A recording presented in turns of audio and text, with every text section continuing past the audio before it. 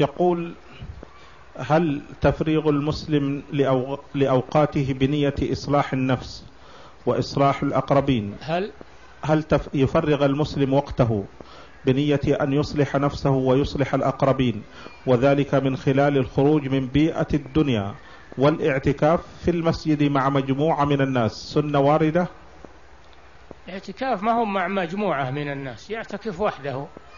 النبي صلى الله عليه وسلم كان يعتكف وحده وما كان السلف يعتكفون جماعات وإنما يعتكف المسلم وحده ينفرد ليتفرغ لذكر الله وطاعته.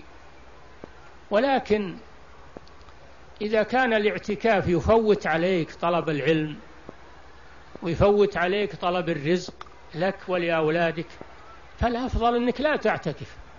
وأنك تخرج لطلب العلم وتخرج لطلب الرزق لك ولأولادك. هذا هو الواجب عليك. نعم.